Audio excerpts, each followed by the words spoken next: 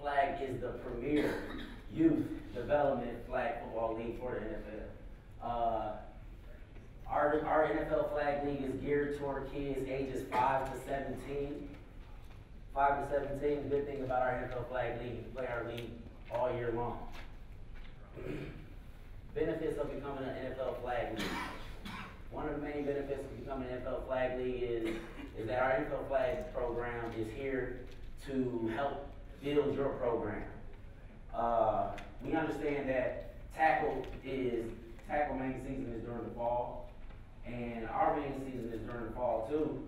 But the best thing about NFL Flag, you can use our program to develop your program to run a spring league and a summer league.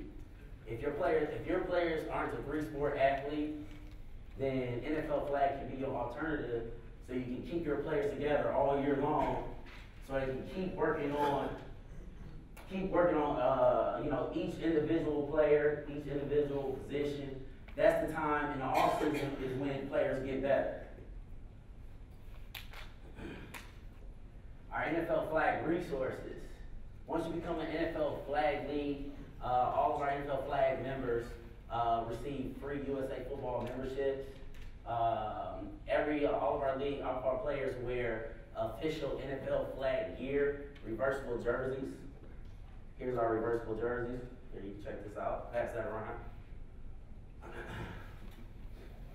These are our new NFL flag belts we're releasing this year.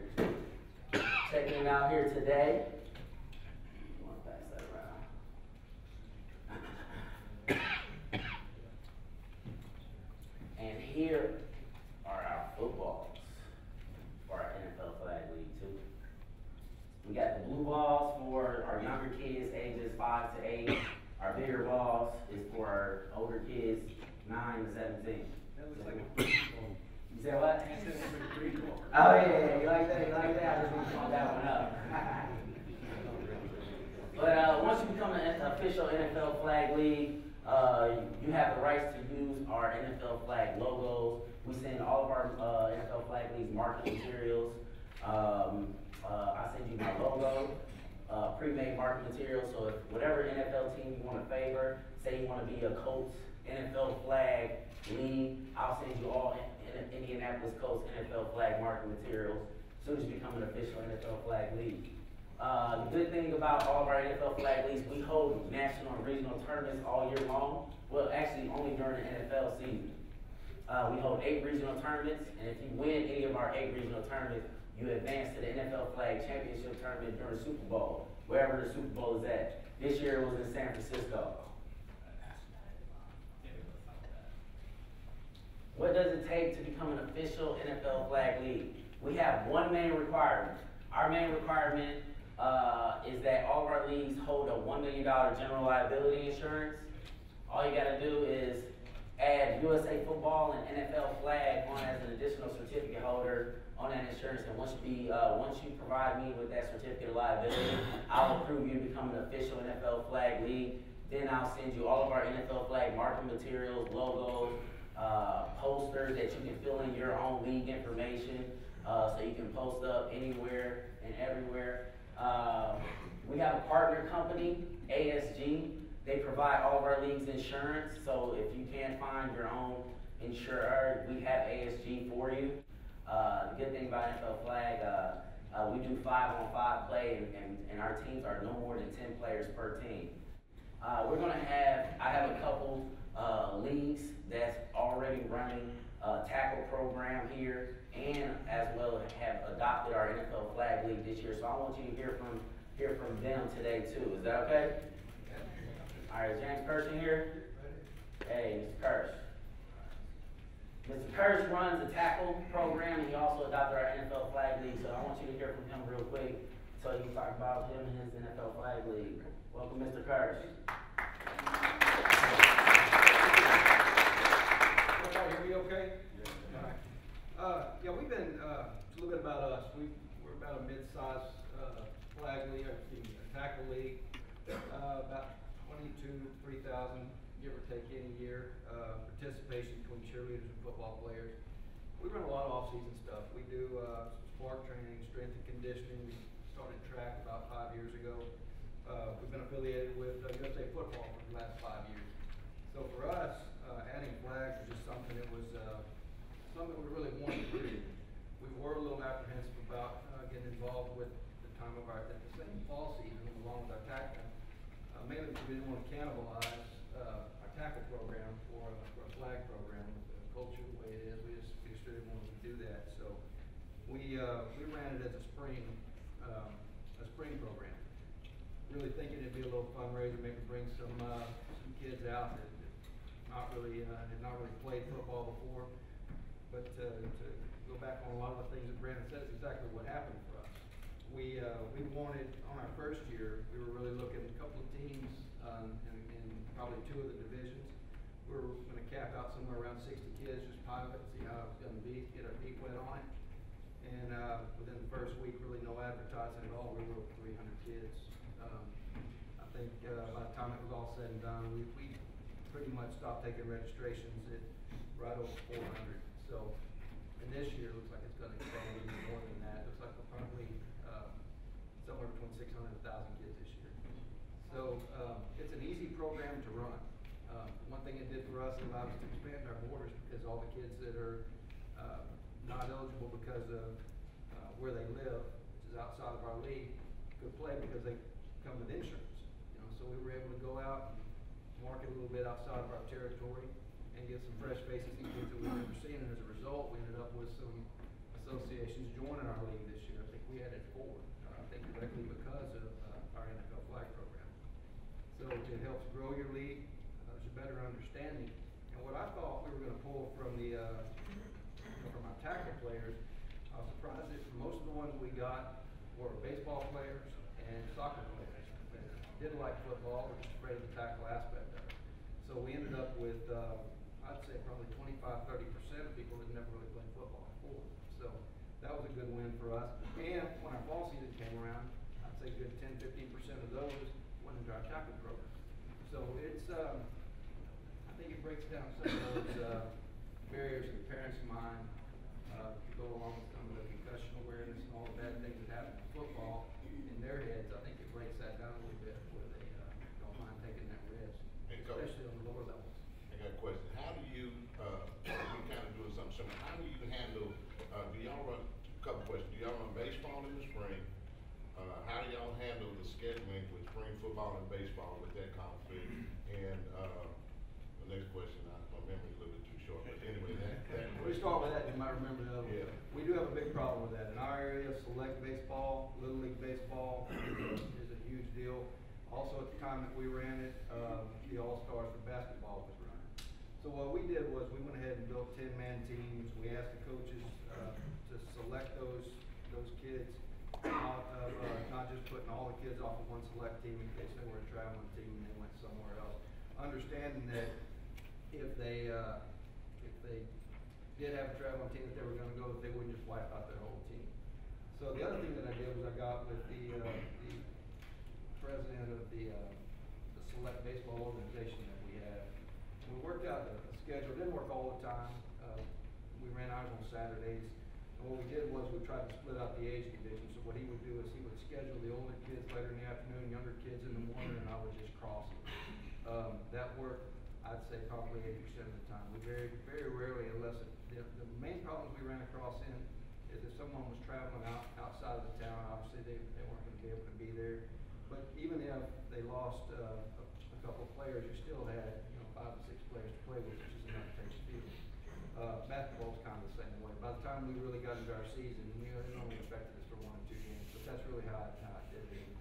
Uh, I don't know if it's gonna work the same way this year as it did last year, but that's how we got around. So I had that same problem. We changed our flag games to Mondays because our baseball games are Tuesday, Wednesday, Thursday, Saturday. So we have practice on Fridays for flag and games on Mondays, and it's changed our attendance a lot.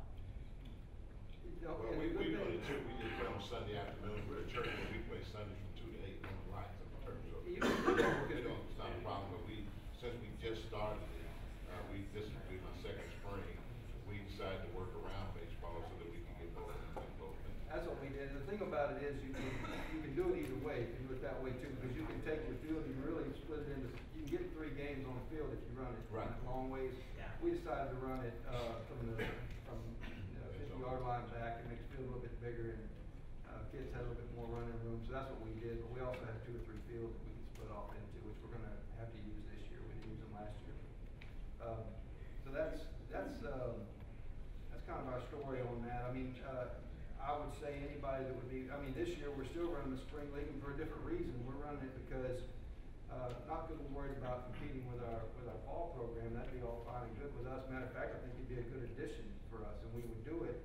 Uh, our issue now is that I don't think we have enough officials to run the game. So we're still, you know, what we thought about doing there is reaching out to the high schools, reaching out to the colleges, looking for some of those players, putting them through a coaching clinic and maybe start using some of those guys to, uh, do our our officiating.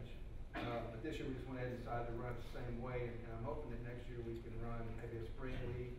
I, that's the other thing about flag that I, that I wanna take the opportunity to push out there is that, uh, we hire a videographer and a photographer to go out and, and pretty much document our tackle season. We did the same thing for this flag season. The flag season is almost like a seven, it's what seven on seven is for high school and middle school. Um, there is really no weight limitations, and we do in our tackle division have, we have age limitations, weight limitations, sure you guys have the same thing. Tackle, I mean, flag has none of that. So you have a kid that, that's generally restricted to running the line or, or restricted to a certain position, and they can, they can go on and be quarterback. I, I was looking through the thousand or so pictures I've got, and the interesting thing out of, out of it all is that everybody's smiling. Every single picture, you look up on our website, we probably got four, or five hundred pictures there. Every play, every snap, everybody's smiling. I mean, you can't lose with that, you know? That's the thing, it's, um, it's fun for everybody, to do things that they don't get to do in the tackle program, even if they're more of a non-skilled player, everybody gets to touch the ball. And even on the skilled players, the thing you'll see is that the game moves so fast. There were players that I had on my tackle team that, uh, I mean, it helps them turn the page a little quicker from a bad play. So they have a bad play, they know they got to go right behind it, it, the attitude goes up, everything goes up. At the end of the day, it's a great program. Is it? Thank you.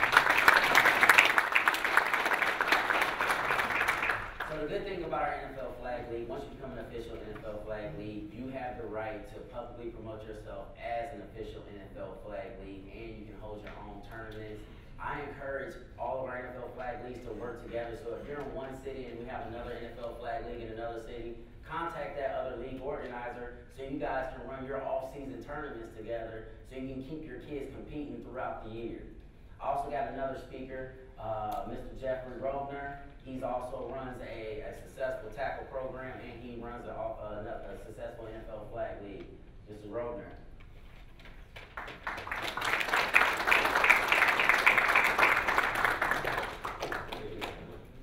James is taller than me, so I'll stand up. Thank you, Brandon, for the opportunity to talk. So, uh, I, obviously, a few of you are running flag leagues now. Can I see a show of hands who's already doing it in the program? Okay, so almost half. So, it, it, you, you can and should start an NFL flag league. That's my first message. If you have a tackle program that you've got a board that's at all committed to helping the kids get involved, there's no reason why you shouldn't start it. You can do it, as James said, it's not that difficult. It can be difficult, and we'll talk to some of the elements about that, that might be able to help alleviate some of the pain for you. Um, the good news is that the NFL flag department, which there are a lot of people involved, in back rooms filled with people from USA Football, they're absolutely committed to it. There, there is a lot of competition, just as you have right now from other sports and from what you're doing in tackle programs. And the reality is, is that if you're not part of the official NFL flag program, you've got a lot of other operators in your area, depending on your, you know, your demographics and your geography and your cities, whether you're suburban or urban, can, can impact your programs. Um, a little history about our league. We're in Northern California. Uh, we're part of a league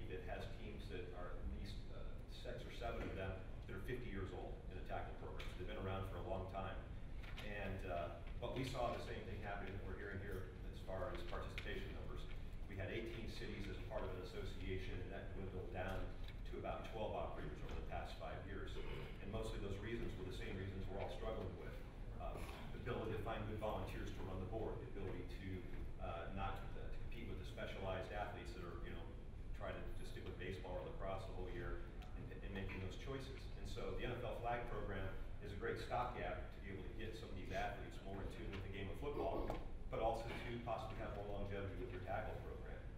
And so what we found is that last year we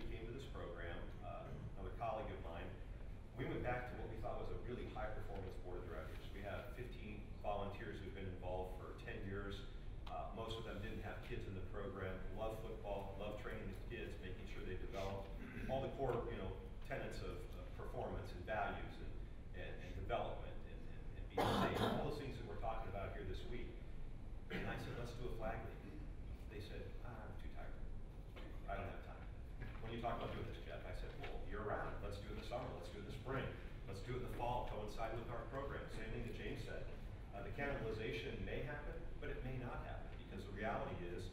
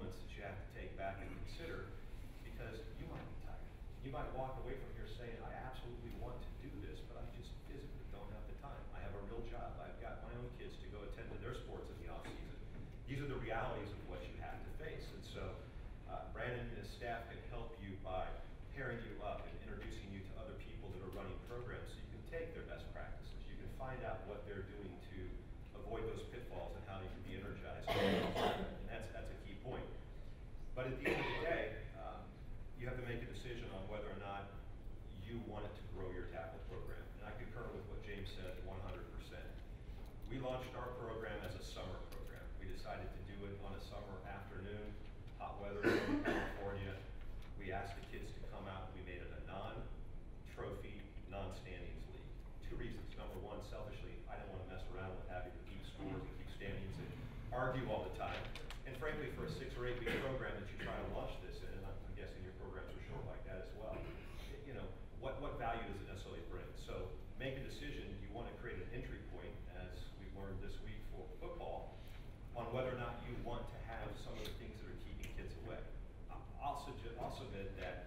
some of the reasons that kids don't play in your tackle program is because they picture big, nasty, mean football players.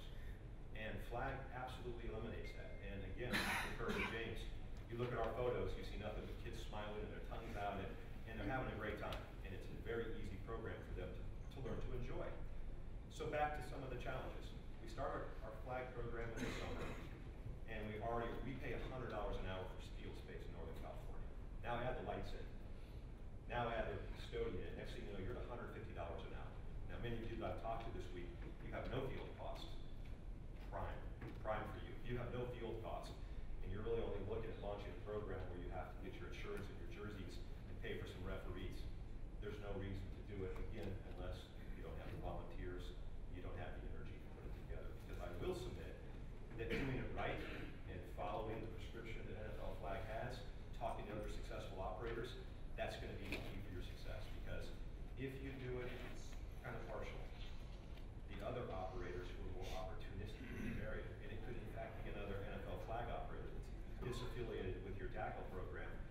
do a better job.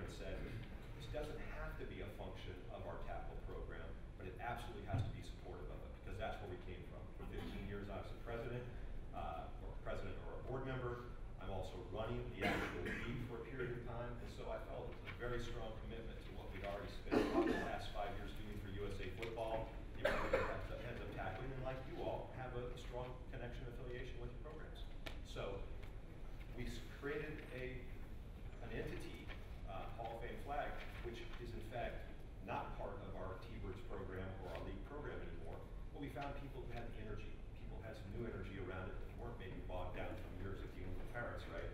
And decided to go ahead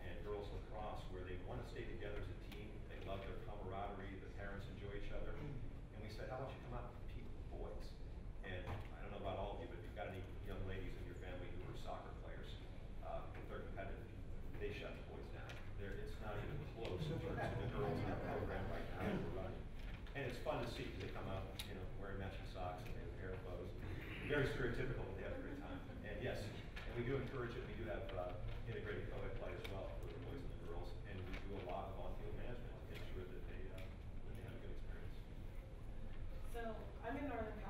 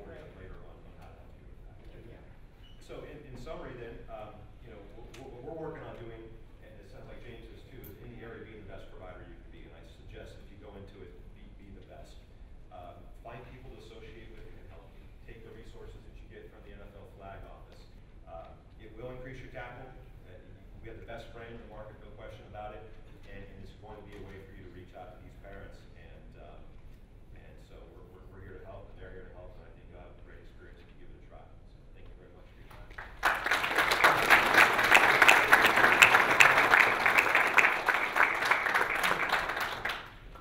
So, thank you, Mr. Rover. Thank you, Mr. Kirsch.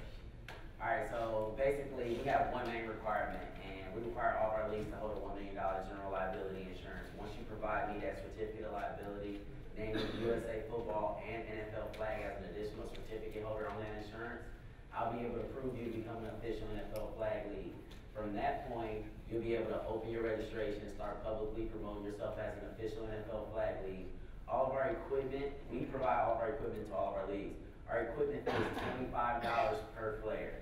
For the twenty-five dollars, each player will receive one NFL flag reversible jersey, one NFL flag belt, whether it's green or yellow, and you get one football per five jerseys you order. What you charge your players after that twenty-five dollars is totally up to you. Boom. And, uh, another, uh, another good benefit and resource, once you become an official NFL flag league, uh, we know that all of our leagues will have a lot of volunteers and a lot of people who probably never even played the game of football. Uh, two questions. First, what are the age levels?